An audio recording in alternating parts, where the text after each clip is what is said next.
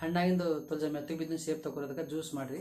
ಅದಕ್ಕೆ ಗರಂ ಮಾಡಿ ಗರಂ ಮಾಡಿ ಅದ್ರಾಗ ಒಂದು ಚಮಚ ಜೀವನ ತುಪ್ಪ ನಮ್ಗೆ ಎಂಥ ಕೆಮ್ಮೆ ಹಾಕಲ್ಲ, ಬಿಲ್ಕುಲ್ ಕಮ್ಮಿ ಆಯ್ತದೆ. ಮಾಡಿ ನೋಡಿರಿ ನಮಸ್ಕಾರ.